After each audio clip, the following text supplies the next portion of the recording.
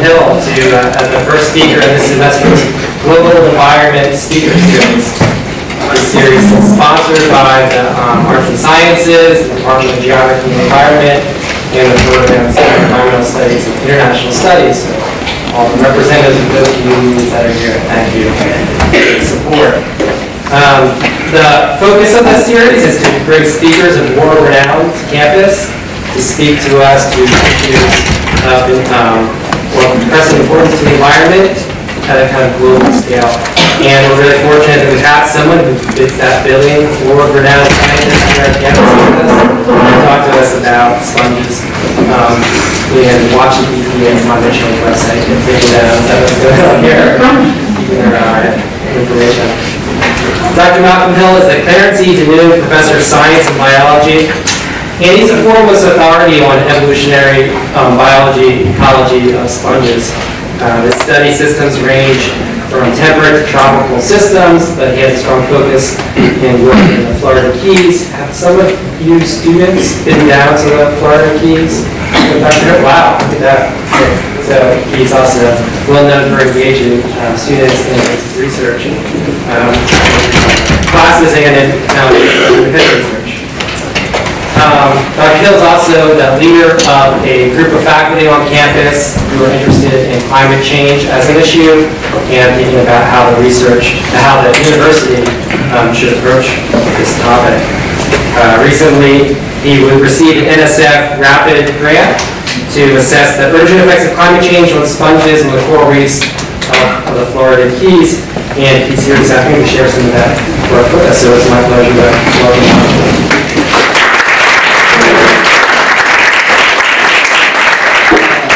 Well, thank you all very much, and some of you, um, in the audience, and some of you uh, contributed to this work, and I'll point out that um, talk. This was a- an interesting talk to get ready for, because uh, it's become more political than I ever thought it would be. Climate change was already a political topic, and I'm an evolutionary biologist, so those of us that are evolutionary biologists know what it's like to deal with a topic that that can elicit some strong emotional responses. And so then I said, well, let's do climate change too, and, and just take on another one that, that is challenging. But with our recent presidential uh, election, it's, it's become even uh, more of a political topic and, and a problematic one because I've got this book from Jeff uh, behind me, Dave Kitchen, who's a colleague of ours in the School of Professional Continuing Studies, sent me an email today saying, well, I can't make it, but uh, the reason I can is I'm watching the EPA website, um, the, the Climate Change Action website, to find out when it comes down. And he wasn't kidding. Right, normally that'd be kind of funny, but we're in an era, and it's a bizarre era. I'm a scientist and a teacher and an educator, and what I'm finding is that we're in a, we're in a period of history where some fundamental aspects that we hold dear and near to um, what it means to understand the world are, are challenged. And that presents a unique uh, situation for us to think about strategies moving forward. And so I'm going to start dark and stormy, not the drink. I'm going to start in, in, in, a, in a sad place. I'm going to hope to end in a place that's a little bit more hopeful um, and a little bit more optimistic. Okay, so the title of my talk is kind of kind of unusual um, for those of us. I don't know.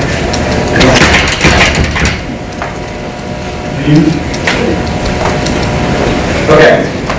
Um, the title's a little bit unusual because it's about heartbreak, and that seems to be, you know, scientists don't really talk about heartbreak. Uh, but I'm going to share with you something that happened about a year ago, um, actually a little bit over a year ago, uh, to me while I was doing research. Uh, so April Hill and I are working on projects to understand uh, the, the dynamics that happen between hosts and symbionts and the co-evolutionary pressures of, symbiosis, and we approach the question from many different perspectives. And I happen to be down in Florida Keys, uh, and I'm not going to steal the, the thunder from this presentation, but something really unusual happened. and it was really a gut punch. It was, it was a, a heartbreak moment. So I'm going to share that, uh, that uh, a little bit in the talk. but for those of you who know me, uh, uh, may not know that I, I was profound love of poetry. And I use poetry a lot to convey complicated ideas and, and sometimes complicated poems, but in, an economy of words. And it just so happened that I came back from uh, uh, this trip to Florida, and the next issue of the, of the journal Poetry came out. And a poem uh, was in it that just perfectly resonated with what, what I'm, what I'm going to with you today. And uh, any, any likeness by Craig Santos Perez is just coincidental, all right you. Um, he's a professor at the University of Hawaii, and he wrote a poem called How Seen 2015. So I'm going to read it. And if you're interested, I encourage you to go get it. It's a great poem. Darkness, uh, okay, so this is like a class. We're going to end with another poem. And we're going to end with a poem that's about 150 years old. Uh, because I'm going to contextualize this talk and looking backwards for looking uh, to look at solutions. Darkness fills across the sky like an oil. The moon reflects bleached coral. Tonight, let us praise the sacrificed. Praise the souls of black boys enslaved by supply chains who carry bags of cacao under West African heat. Trick or treat, smell my feet, give me something good to eat. Sings a girl dressed as a Disney princess. Let us praise the souls of brown girls who sew our clothes as fire unthreads sweatshops into smoke and ash. Trick or treat, smell my feet, give me something good. Whisper kids disguised as ninjas. Tonight, let us praise the souls of Indian children who manufacture toys and tech until gravity sharpens their bodies enough to cut through suicide nets.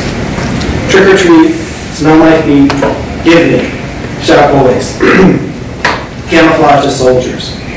Praise us, the souls of veterans, who salute with their guns because only triggers will pull God into their ruined temples.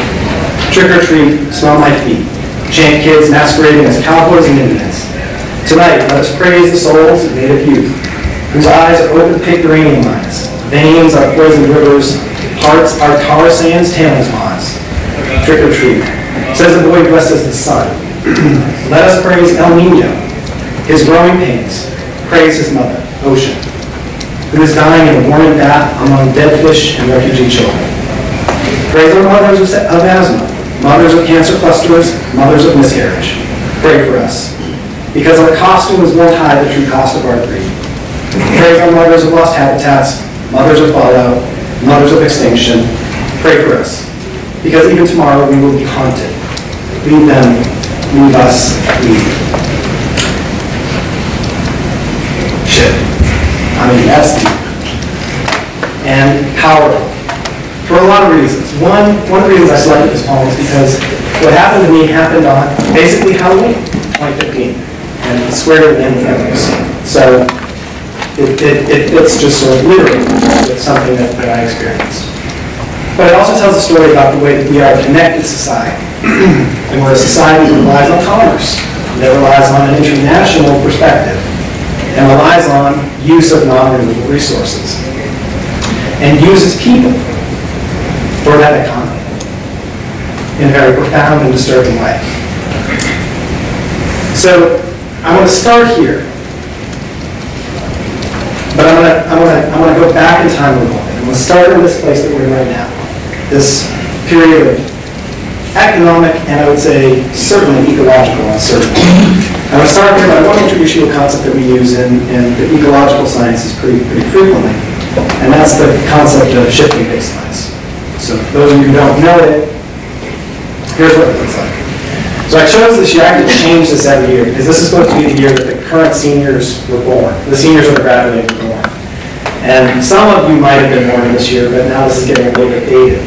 But these are some, some things to help you contextualize what a shifting baseline might look like. So back in 1994, uh, gasoline cost about $1.60 a gallon, uh, which is funny because at one point in time, uh, it wasn't too far off from that. And at another point in time, it was like $5 a gallon. So this may not be the best one. Um, a movie cost $4. Bill Clinton was president. That would have been really more interesting if the election had been uh, a little bit different, but cell phones were not invented. Uh, the World Wide Web did not exist. I know, some of us lived through that period, those dark times. Um, and the first digital cameras were sold by Kodak. My guess is that almost everybody in this room has a digital camera sitting in their pocket. Um, I wouldn't be surprised by that. But to an ecologist, what shifting baseline looks like is something like this. Uh, this is a picture of, I'm, I'm getting over a head cold, so I apologize if I, um, if I take a break. Uh, this is a picture of uh, an American chestnut tree. you all probably have not seen an American chestnut. Some of you may have, but many of you may not have seen uh, an American chestnut tree. This is a, a family of, I think, five. There might be a ghostly figure here, that I'm not sure about. But at one point in time, the American chestnut tree was the most common, or certainly one of the most common trees in the forests of North America. And so if you take one of these individuals and plot them in a forest today, they would say, oh my God, what's happened to this habitat? It looks awful. And we would walk around that same habitat and say, what a glorious forest. This is so spectacular, in nature, it's pristine, untrammeled habitat. So that's an example of, of a shifting baseline. The cause of the American chestnut uh, loss was a combination of uh, disease, a blight, a fungus that infects the trees, uh, and our overuse of this, this resource. Beautiful furniture made from chestnut. Uh, the wood is strong and durable and beautiful and is used for, for many, many purposes, and we overharvest it. And then we overharvest it to the point where disease could actually be doing more damage. So it's essentially ecologically extinct. It is ecologically extinct. It's essentially almost evolutionarily extinct. So the species is, is one that, that we're not familiar with. Another example, this is a plot showing the age at sexual maturity for a fish. It doesn't matter what the fish is. But um, back in the, back in the 1950s and 1960s, the average age of first reproduction, the first age that a fish reproduced, was six years old. 1970s, the average age of that same species of fish was dropped down to about three years old. The reason for that is that when people fish, they tend to fish, but you don't brag about that smallest fish that you got. Brag about the biggest fish that you caught. And when you're in the market of trying to sell fish, you want to sell a lot of fish, and a big fish gets you more money than a small fish. And so all this fishing pressure was based on was based on fish populations. And we actually see an evolutionary response where these fish populations now are reproducing earlier, three years earlier, which means they're smaller, which means they're not eating the same amounts of food, they're not even eating the same types of food. So these have profound consequences for the way ecological communities perform. Okay? So if you're, uh, if you're a person doing fishing in 1940, that fish would be like a cube fish. If you were doing, if you caught that fish today, it would be a world, it would be world newsworthy event. Um, so this is an example of shifting baselines. People fishing back then imagined a different world than we do today. So the context of what, what we study in my lab and in April's lab uh, is a phenomenon that has worldwide global uh, reach, and that's a phenomenon of coral bleaching. And what I showed here are two maps that are uh, tied to what are called mass bleaching events. And I'll give you the details of mass bleaching events uh, in, in a little bit, but for now, just know it's, it's not a great thing. And the map that's on the top is from 1998, or 1996 rather. And the color of the dots represent, the, the dots themselves represent spots where bleaching, coral bleaching was observed. The color of the dots is, a, is, a, is an um, estimation of the intensity of the bleaching. So red dots are intense events and not red dots are less intense. But the dot represents bleaching happening. You can see the difference between 1996 and 2006. The number of dots has increased, and the color red has increased. Okay? And what bleaching is, is this, this, this figure right here. A healthy coral uh, is an animal. It looks like a rock. It, it doesn't move like a plant doesn't move. Um, but, it's, but it's an animal. And the color, that brown color, that beautiful brown color, is caused by a mutualistic symbiosis that happens between the animal and a little tiny algae, microscopic single-celled algae that lives in the tissues of the animal. And in fact, this ecological interaction, this mutualism, this positive host benefits symbiote benefits host, this mutualism is probably, I would say, is the most important ecological interaction in coral reefs.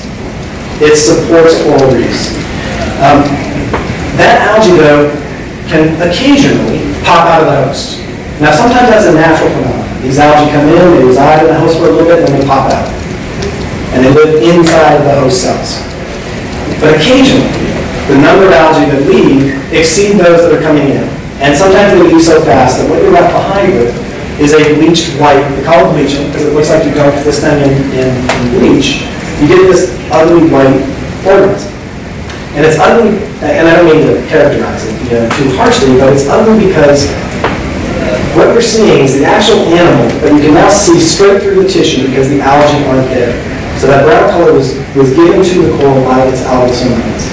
The loss of those algal somites mean that this coral is not feeding as well as it did when it had its algae. The algae, one of the things the algae do for that, for the coral is they give up sugars. They photosynthesize, they're a plant. They make sugars and then they translocate that out to the host. This host isn't eating. And it's stressed. It's already, it's probably in warm water. And it's stressed. And so what ends up happening is that this critter right here, this bleached coral, starts to die at faster rates. And it gets sick at faster rates. And so these corals start to shrink when they get bleached. And if it's an extensive bleach, they start to shrink. Their area of coverage starts to shrink. And the reason that's a problem is what these corals do is they build up the reef. So a little bit about coral biology. This coral is a thin tissue of, it's a thin tissue like, like a, a- a- blow your nose into the tissue, layer of animal tissue that's just sitting on top of the rock. The rock is calcium carbonate. And the animal actually makes the calcium carbonate, and it precipitates it out of its butt end. And so the the animal just kind of rides up on top of this coral, uh, this calcium carbonate, as it grows. And as it turns out, that's what builds reefs up. So these animals build the reef up by precipitating calcium carbonate up, uh, calcium carbonate down. When you start losing a little bit of this coral, a little bit of this coral, this guy dies, and that one dies, and all of a sudden the reef isn't growing. And the reef starts to erode. And as it turns out, the sponge that we work on um, is a- is an organism that contributes to that erosion. A point I'll get back to in a in a little bit. Okay, so that's, that's, that's some basic biology about corals and calcification, and you you got a, a- a really healthy dose of of tropical coral biology right there. But what I want to do is I want to put 2015 in context.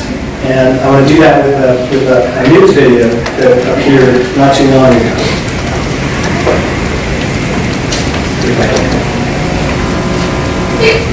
The UK's is still there. Okay. Aerial surveys by scientists released today reveal that huge swathes of Australia's Great Barrier Reef have been devastated by an underwater heat wave. Marine researchers found that a global coral bleaching event that began six months ago affected 95% of corals in the northern region of the world's biggest reef. Damage to the south is still being assessed. Coral bleaching is caused when unusually high sea temperatures kill the tiny algae that give corals their vibrant colour. Without the algae, the white skeleton of the underlying host coral is revealed and the organism begins to starve. This is the third global coral bleaching since 1998, according to the US National Oceanic and Atmospheric Administration. The US agency made the announcement last October after record ocean temperatures caused widespread coral bleaching in Hawaii. The Great Barrier Reef, a World Heritage Site, has experienced two mass bleachings in 1998 and 2002. The third now comes after the World Meteorological Organization listed 2015 as the hottest year on record. Okay, so now the political, which shouldn't be political, um, is that I'm finding that I have to uh, say, no, this is real. This is real. In a way that I hadn't had to. Aerial surveys by scientists released today reveal the huge swathes of Australia's Um, I, I'm now having to say this is a real phenomenon in a way that I haven't had to before. And when I say, I mean in the last month, um, having to, to defend that something is going on that's unusual. Uh, in a way that's, that's maddening, maddening because the evidence is so overwhelming. Um, and we, we kind of know what's happening. It's not a mystery. We kind of know. Um, and what I'm going to do for the rest of the talk is I'm going to talk about that, that heartbreak piece. Because you notice the timing of that, that video. That was in December, January, uh, December 2015, January, February of 2016. The event that I observed was in October of 2015. Now, October 2015 happened, and I'll show you the data, the temperature data in just a second. That's the kind of the warmest months in the northern hemisphere. But in the south, our winter is their summer. And so December, January is the warmest time on the Great Barrier Reef. I got emails from friends at um, Australian Institute of Marine Science, which is the major coral reef uh, organization in Australia. Individuals nearly in tears because of this. So these are two, two pictures. One is a picture taken from a a research site in uh, um, Palau. And this is a site that I I have friends that have been working at the site for about 10 years now. And they we're used to looking at the conditions on the left there. And it's not a great image, but those brown, coily things are corals, and the brown color is good. Algae is present. They went out to the site, and everything was white, bone white. This is a picture of the same reef taken in December 2014, so summer of 2014, February of 2015, coming out of the summer months into the warmest water months. And then this, this 2015 event lasted so long that the corals died. So this isn't a recovery, this is, the tissue of the recovery these corals is gone, and all of that, that material there is algae growing, growing within the coral. So what's going on? We know. And many of you know, I'm not going to spend a lot of time on this, many of you know, it's a pollution problem. This graphic I use pretty frequently comes from the Skeptical Science um, website, and I encourage you to visit it. I have a webpage at the end that you can, you can take a look at. But the ratio of the way that we pollute um, our atmosphere is on the order of 40 pounds of CO2 into the air for every one pound of uh, CO2 that we put into a landfill. And the reason for that is that this bottle that makes its way into a landfill, and um, this bottle that makes its way into a landfill, was produced. And it's a plastic bottle, so petrochemicals were, were, oil was extracted from the ground. And that took, that released CO2. The oil was converted into a plastic component that could be melted and put into this bottle form. That released CO2. Once the bottle was made, it had to be shipped to the plant that filled with water. That released CO2. Once it was filled with water, it got moved around by ship, by train, by truck, by your car, all releasing CO2. And so we are releasing CO2 into the atmosphere, and it's not even, it's not even a question. It's not like a hypothetical. These are raw data from uh, a very famous site in Hawaii, Mauna Loa uh, Observatory. A scientist back in the 1950s started measuring CO2 concentrations in the atmosphere for purely scientific reasons. And what this person noticed is that, and and I hope you can see this too, is that there are these little ups and downs uh, of CO2 concentration. So y-axis over here is CO2 concentration, and there are little jags up and down. And that's because in the northern hemisphere, where there's most of the land, in the spring, when all the trees bloom and, and photosynthesis starts happening, and they actually globally draw CO2 down. And then in the fall, when all the leaves fall off and you go into winter, CO2 levels start to climb up again. So there's this neat annual cyclic- cyclical um, pattern.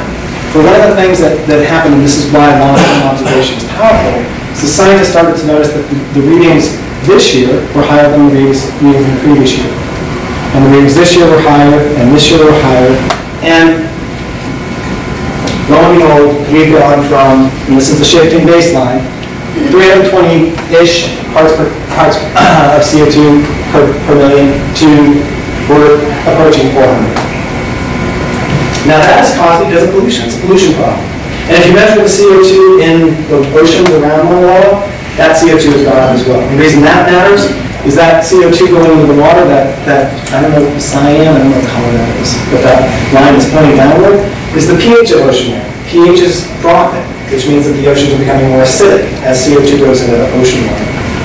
Now that's another problem I'm not even going to talk about, because one scares the crap out of me as much as global warming does. Um, But that's happening as well. And the essence is, is that as you add CO2, it's like throwing layers of blankets on the earth and the earth warms up. And so it's a little graphic, radiation's coming in from the sun, heats up the planet, the atmosphere traps some of that heat. We're putting things into the atmosphere that trap more of that heat. And so locally, they've done predictions, what would happen in Chesapeake Bay, if you extrapolate out a warming scenario, or emission scenario, so a lower emission, emission scenario or higher emission scenario, what might our thermal profile look like if we're in the Chesapeake Bay? So under the lower emission scenarios, by the year 2050, the Chesapeake Bay would move down to like it's right off the coast of North Carolina. And in 100 years, it's almost like it moved down to it's off the coast of South Carolina. A higher emission scenario, guess where we are right now. A higher emission scenario, by 2100, it's like the Chesapeake Bay is off the coast of Florida. Temperature-wise, it's thermal profile. That, that kind of change in that short period of time, any organism who has been evolving for 100,000 years under a particular set of climatic conditions, or a million years, would find it a very challenging environment to live in. Okay, so, but I want to talk about sponges and my own personal heartbreak. I have Australian colleagues who literally called me at these bleaching events and they were near tears. Sites that they've worked at for some people 25 years, totally bleached, corals dead. But I want to talk about my personal experience with this um, and talk about sponges. And this is a word cloud um, from the first paper that I ever wrote uh, as part of my dissertation. It's an important lesson for me about word choice. So all I did is I took all the words in this paper and I did a word cloud. And I see you laughing. I don't know why you're laughing. But the second most prominent word in this paper was boring. I have a tough enough time selling sponges um, to the broader public. I don't need to, you know, add more problems by using words like boring. What boring means is bioerosion. These sponges etch into calcium carbonate, which relates to that ocean acidification thing. But the lesson I learned was use bioerosion, don't use boring. um, okay, but we work on sponges. And so, um, and the work I'm going to present is, is this collaboration that April and I, are- this long-term collaboration that April and I are involved in that got started with this following observation. Um, reefs are beautiful. This picture on the left is from uh, the Florida Keys, and the part that we work on is this, this beautiful brown sponge in the back. Some people don't think it's beautiful. I don't. But sponges, when you look at a reef, most of the color that you see on a coral reef is caused by sponges. It's not caused by other things. And really, what caught my eye the first time I got on a coral reef was the beautiful colors that turned out as sponges. But for those of you that don't know what sponge is, here's a, here's a really quick lesson. So a sponge is a very simple animal. And uh, these images are actually from uh, Sally Leys, the collaborator of April's. Uh, It's a freshwater sponge in the background, it's just a cut through the sponge, and this is a cartoon of it. But the way that the sponge works is it pumps water in through uh, an opening called the ostium. Water comes in through these little things called choanocyte chambers, and then out through the osculum. And that, that sound is never. Um, this, these are images that we take, we took from uh, Reef in uh, Florida Key. We take this dye and we just pipette it next to the outside of the sponge. Because sponges look like they're just sitting there, but they're not. They're doing stuff. And they're actually like the kidneys of the ocean. But all of these fluids coming out are sponges doing what sponges do. They filter water. They filter water out, and they take anything that was in the water column, eat it, basically, or incorporate it, or process it, and then spit it back out. These sponges feed on bacteria in the water column, and they host bacteria as somites inside their tissues. They have tons of bacteria as, a, as biofilm over the surface of that sponge. They serve as uh, food for some species. Hawksbill turtle and angelfish eat these things. And they form symbioses, which is what really got us started. So these sponges that look like they're not doing anything in this picture turn out to be incredibly active. They are incredibly good at turning water over. Um, but one of the things that we notice is that when you look at this picture, so this, this, this thing right here, this thing right here is Montastraea cavernosa. That's a coral. And its color is caused by algal symbionts. This thing right here, this long branchy thing, is one of my least favorite organisms on the planet. It's fire coral. If you touch it, it feels like you've been branded. Um, but that color is caused by symbiotic, the little algae. This fan that you can just barely see in the background at the top there is a coral. It's got algae. So every single coral that's on the reef has this little algae. But when you look at sponges, the only sponges that have this algae are sponges like this guy, Cliona. This sponge right here, this beautiful purple sponge doesn't, this sponge doesn't, this brown sponge doesn't, this yellow sponge doesn't, this red sponge doesn't. The only sponges that do belong to this genus called Cliona. And we work with a sponge called varians. And we want to know why are algae in that sponge and not others? when every single coral on this reef have the algae, but only this sponge does. The Biological question, so the biological question I'm interested in is, why do some sponge species harbor some nitrogen when most don't? And that's the, the take-home message for what we're, um, that, that our biological, just sort of basic biology is, is answering. Why algae in that sponge and not others? Okay, but here's where we got punch counts uh, from October. This is a, a map predicting sea surface temperatures in the Florida Keys. Blue looks cool, but it's not. Blue means that in hundred years, these waters down here off the uh, Leeward Islands, southern Leeward Islands and Colombia are going to be one and a half to two degrees warmer than they are today. And the waters near Florida Keys where we work are going to be as much as two and a half to three and a half degrees warmer than they are today. And as you already know, that causes coral bleaching.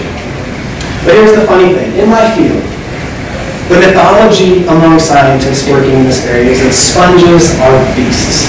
My sponge, Cliona varians, that, that is, is like a gorgeous little sponge. The mythology is the sponge never bleaches. It just never bleaches. And it's gonna survive. Whatever happens to corals, even when we eat corals, the sponges don't bleach. Okay? Sponges don't bleach. Now, when this thing happens, I just want to point out that it's not just that we lose the algae. But that, so this is one with algae, that's one without algae. You see massive shifts in all kinds of organisms on these reefs. So there's a biofilm that coats this, this coral, it's a mucus, uh, cover. And in that is this bacterially rich um, biofilm. That gets disrupted when those algae are gone. As soon as that biofilm gets disrupted, just the same way your gut can get disrupted, diseases can find their way. So this is a far-reaching problem. But here's what we saw on Keys. So we set up these little data loggers. In fact, I leave in about 25 minutes to head down to Florida to collect some, some more. Uh, we set down these, and, and do some other things, but we set down these little data loggers to record temperature. And these are data from two sites that we work at. I'm not gonna, the red one I'm gonna come back to at the end, the red one with the black dots here, I'm gonna come back to at the end. Um, I want you to focus on these blue bars with the white circles. They represent a site that we work at that's about five miles off the, the shoreline, and it's about 15 meters of water, uh, on a nice little coral reef. And these are data that were collected from, it says 2011, it's actually 2015. My, programming skills and the data logging weren't very good. But the, the, the month and day are right. So it's uh, May 29th, we started doing measurements, and we collected them uh, October 15th. Uh, so this is the season, right? And so in August, the water's warming up, and then in September, it's, you know, we're entering the fall, it's supposed to start cooling down. One of the things that you notice, so there's a nice warming trend, and then we're here, but do you see this little piece right here where there's that upward tick? And then there's kind of sagging right here. For whatever reason, this year, 2015, happened to be a really bad Nino year in Keys. And this very warm, salty water just sat on our reef. So I get to the Keys. I'm diving down to the site to get, to get this, this data logger, and this is what I see. And in my head, I'm driving out of the boat, and the person, uh, I, there's a team of people, one of the people that I was with, said, oh no, I thought I saw your sponge bleach. And I was like, come on, you don't know what you're talking about. That's silly. Sponges never bleach. And so I, we get on the watch, she's like, oh, okay, because she doesn't know sponges. She's like, oh, okay. I was just a jerk. Um, we get in the water, we start swimming down, and I'm like, oh, look at the poor little coral that's bleached. Oh, here's another bleached weak coral, weak coral. Oh, there's a weak coral. And then I was like, what the hell's that? so that is our sponge. That's Cliona varians, the sponge that we work on. You can see the bleached coral in the background. Um, our sponge is never supposed to look like that. I've been out on the reef on many previous mass bleaching events with corals, and our sponges never bleached.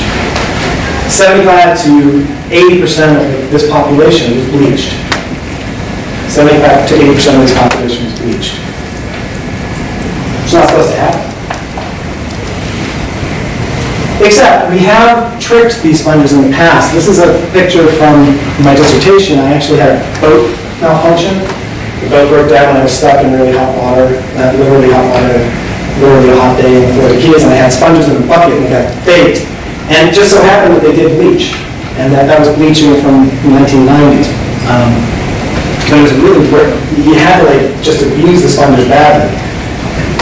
Um, so we thought it was just a weird phenomenon, but now we have something that's in nature that we could only trick sponges in the lab previously with bleach. And the reason this is kind of interesting is that this is the shallow water sponge. So this is the same, this thing right here is the same species as that sponge up there. The students that are in my lab here, get. I like this guy better. Um, or maybe, but this sponge right here the same species as that sponge, but it lives in shallow water. It lives in shallow water. And just to put it in context, the shallow water site is that red bar, black dot.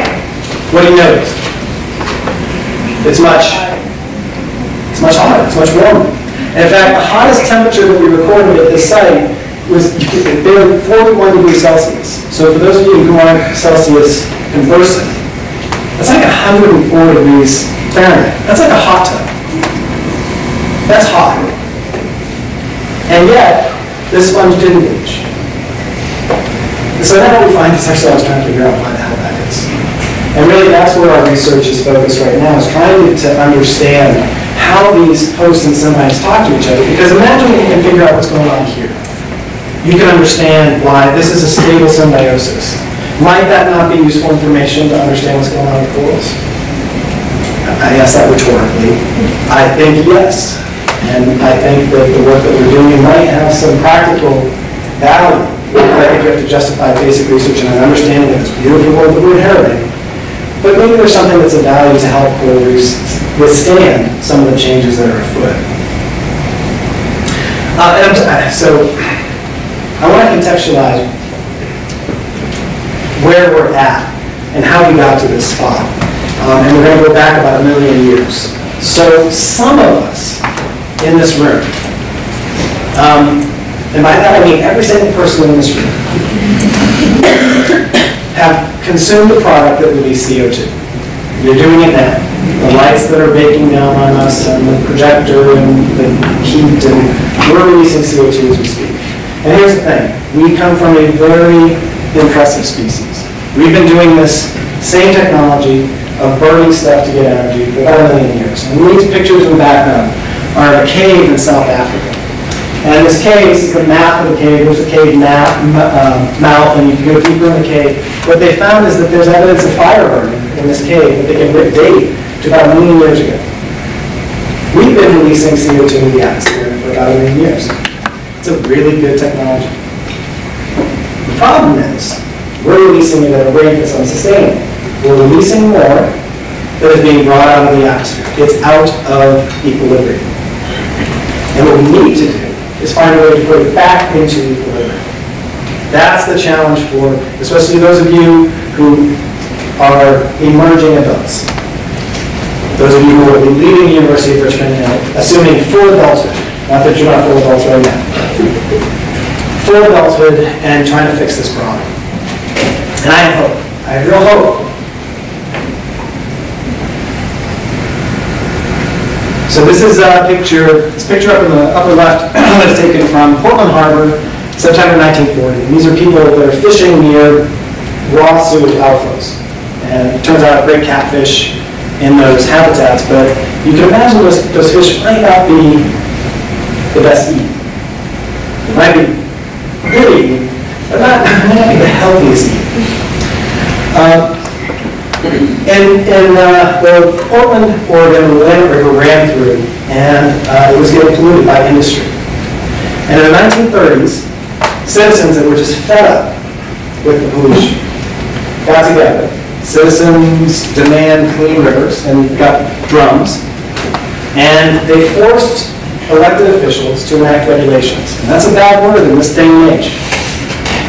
In this presidential, and I, you know, in this presidential uh, term, we're going to face an interesting set of conversations about what regulations mean and what are the values of regulations. But here's what regulations do do. They help correct a tragedy of the commons. If you dump your sewage, if you dump your waste into a common space, everybody suffers. You benefit because you get rid of the waste that costs you money, but everybody suffers. And if enough people do that, you end up eating catfish out of a polluted river. Now, the nice thing, so, uh, so the nice thing is that, you know, this Demand Clean Rivers campaign actually produced results. And they passed regulations, the Oregon State Sanitary Authority uh, got moving on plans to clean up these rivers, and it worked, for the most part. The rivers became clean because of regulation, because of wide regulation, because of protection of a shared resource, a communal resource, that you can't border off and privatize. You can't say, this is my river, I'm going to protect it, and I don't need the government to come in and, s-" you can't do that with some resources. So we need to think of creative ways to protect them. I would argue that, that we need the same kind of action with CO2 pollution. We need to find ways to come together, to think of creative solutions. There are going to be technical solutions for sure, but the way it was passed wasn't necessarily technical wizard. It was emotion. People got mad. People said, this is my resource. I need to protect it. The problem we're facing with with CO2, though, is it's invisible. You don't see the pollution, so it's easy to forget about. It. It's easy to think of alternative facts that might explain how CO2, sorry, how CO2 concentrations might increase and how it might have nothing to do with global temperature increases. Problem is, scientists have reached consensus on the point that what we're seeing is caused by human activity. Point blank is. How do we fix it? If we can generate the problem, we can more than likely find a solution to it. And so, in the context of shifting baselines, end. Um, Industrial Revolution Part One was the early 1800s.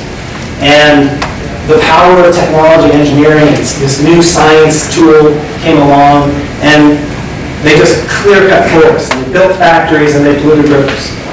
And into that was born a a person who became a Jesuit priest, Gerard Manley Hopkins, um, a uh, a poet of the Victorian era, um, who died of early death of typhoid fever.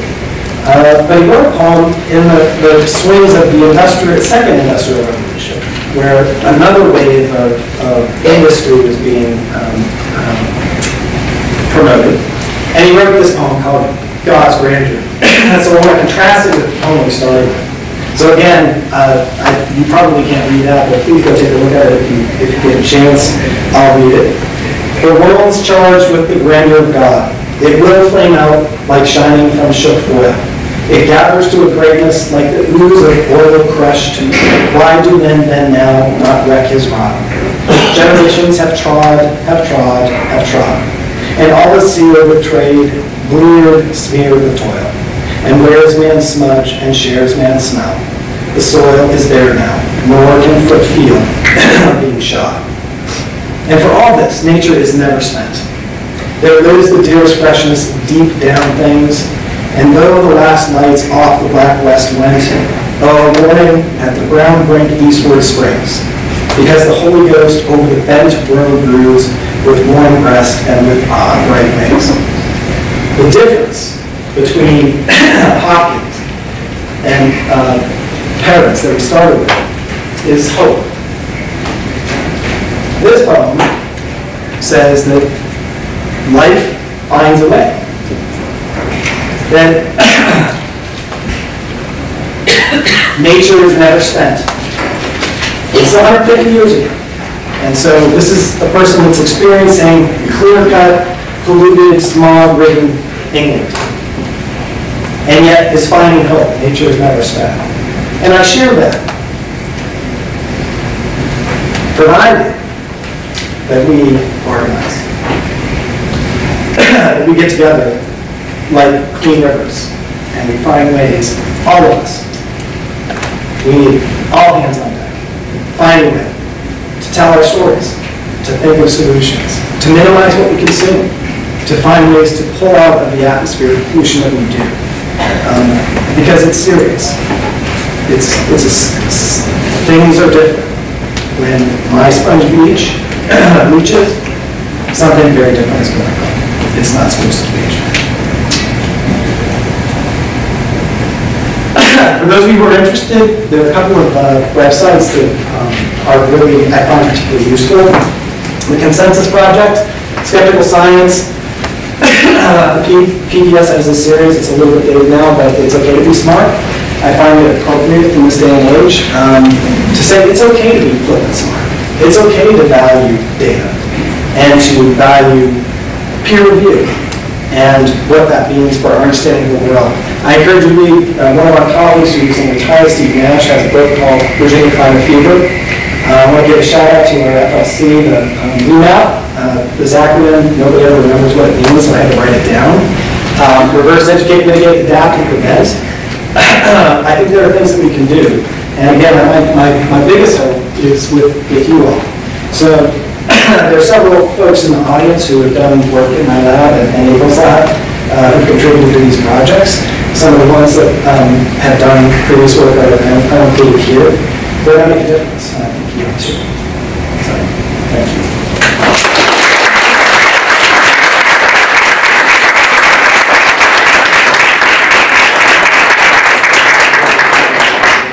So I I can take any questions even on here, I'm definitely going to lose my voice. If there are, I didn't mean to, that everybody. Would you be able to talk a little bit about how you would distinguish patterns of bleaching from like patterns of disease or other things like that?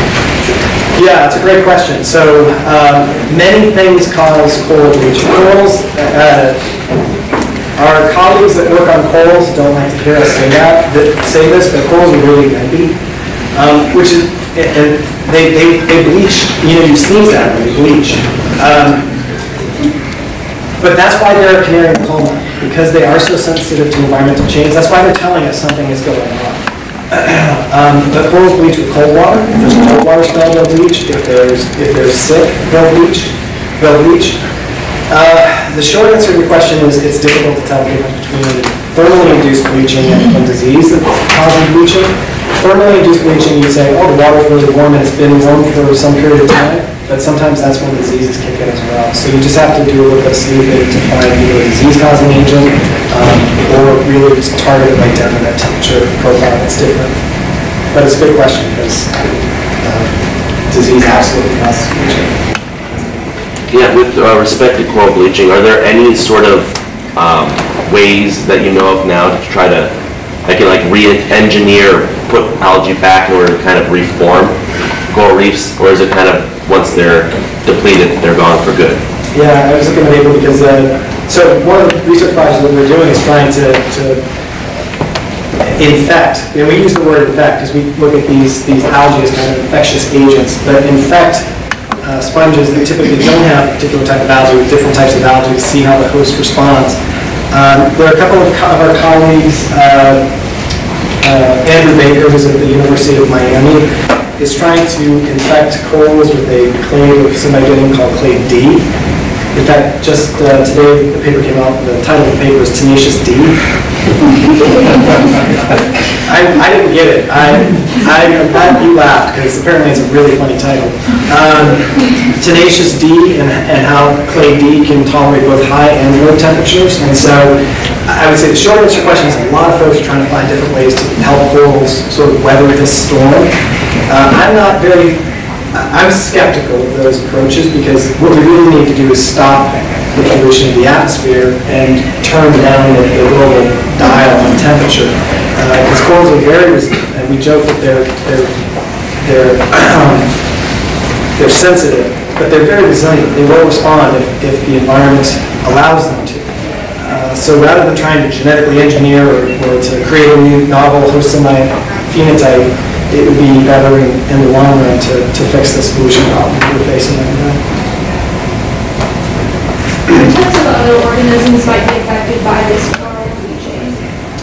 Uh, All of them.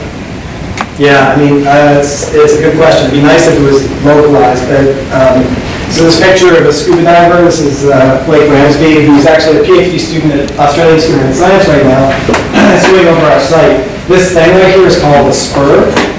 That is all built by a coral. So as soon as you take the corals out of the equation, this doesn't get built up anymore. And so the things that feed on the coral, the things that live in the coral, the things that are under the coral start to disappear. And the whole system kind of unravels. Um, I was wondering if you're interested about working on stuff like this, are there any institutions or programs that you would recommend? Yeah, absolutely. Um, we should talk. Uh, so Mote, the lab, so the lab that we work out of in Florida Keys is called the Mote Tropical Research Laboratory. They're, they're best known for shark research. Uh, they kind of got their, their start in the 1950s studying sharks. But the, um, the Tropical Research Lab, uh, it's in Key, Florida, has a coral restoration program, and they, they take interns. Uh, so you can work there for a summer or a year. Um, and many, many students that are trying to figure out what their next step is, but want to get an interesting experience the work there. What they're doing is they're taking corals that survive bleaching events, and they take little snippets of them, and they bring them back to the lab, and then they try to propagate them. So it's kind of like a plant bot- bot- botanical response. You take little clippings and you let them grow up, and then you tr- transplant them back out. Uh, they had some pretty good success with that, but um, it's one that requires a lot of people power, and people power equals good internship opportunities. So I would say no, and there are certainly others uh, across the U.S. and actually around the world Um, you mentioned there is that one coral that didn't bleach, um, when all the went up. Um, are there like any other types of coral that also don't bleach? And what are, what is your future research on like are you guys gonna test like that? Um, Like what kind of tests are you gonna do on that specific coral? Uh, well, so, yeah, so we, we work on sponges. Um, so corals and sponges uh, don't like each other. Uh, and I mean that almost literally because sponges are better competitors than corals and sponges grow over the coral. Um, but the sponge that we're interested in uh, doesn't leach. we, I mean, I, I would say we don't know why it doesn't leach. It's, it's, it's, it's perplexing, interesting and perplexing, but we think basically what's happened is that local evolutionary processes have favored one, host genotypes that are uh, resistant to high temperatures and semi-genotypes that are resistant to high temperatures. And so there's this little locally adapted population that deals well with those environmental conditions. Whereas the, the, the one that we work on on the reef, its temperature profile is really narrow. It's, it's, it's tropical, so there's just not a lot of highs and lows. And so they just are kind of used to this kind of pattern. As soon as you jump up a temperature, they don't know what to do with it. And so natural selection has favored less resiliency in those populations. That's our working hypothesis, and so we're, we're testing that and trying to, trying to figure it out. So along the lines of thermal emissions, and I'm, I'm talking here terrestrially, not but similar issues in alpine environments, that I'm in. And one of the problems we're facing with our alpine endemic plants, we can look at uh, rain shifts. And rain shifts can occur so far to the thermal niche, and at some point, we can't go up anymore. So kind of along similar lines, what sort of dispersal do you see any sponges? Do you think there's any potential for dispersal, or is it just at such a different time scale that that's also a problem? Yeah, that's a great question. One of the hypotheses that's out there is that coral reefs are going to march up the coast. So if we wait long enough, Virginia, we will have tropical reefs right now, she knows. Um, That's a great question. So there, uh, globally, like the Red Sea has temperatures that approach 40 degrees Celsius, and corals live there just fine. And so clearly, if you give time, natural selection is, you know, is pretty powerful. It will select for uh, a good fit to the environment. The problem, the problem, as you know, is just the rate of change. It's so fast that these populations, these communities haven't been able to respond in any way. So the short answer don't know. I mean, it could be that they, they migrate up and the whole ecosystem moves up, or it collapses. Maybe one more question, then let you, not that, you know, preserve his voice a little bit. All right, we'll go with you because you've had your hand up. Sorry, sir. I'll talk to both of us. This isn't a scientific question, but you Good. mentioned how, um, like in the past, one we found climate change to be a way more political topic than it has in the past. And I'm wondering what you found to be the best way to navigate these conversations with people. Um, I would say facts. Um, And I- I, I would say facts in the past, but I don't know that that's sufficient. Right? I, I, we really are, and this is frustrating as an academic, as an educator, as a, um, as a thinking person, that evidence is now, you know, subject to debate. And, and so the short answer, I have no idea. I have no idea, we're entering new territory, and uh, I, the EPA site, this, this climate action page, literally could be taken down. Because the information, you don't want the information out there. Now, that control of how we think and what we can talk about, what we, that's a very dangerous territory. All I can say is be brave, be strong, be informed, learn the issues yourself. We train you well here to think, use it. And then be unabashed in your, in your tenacity with some of these issues.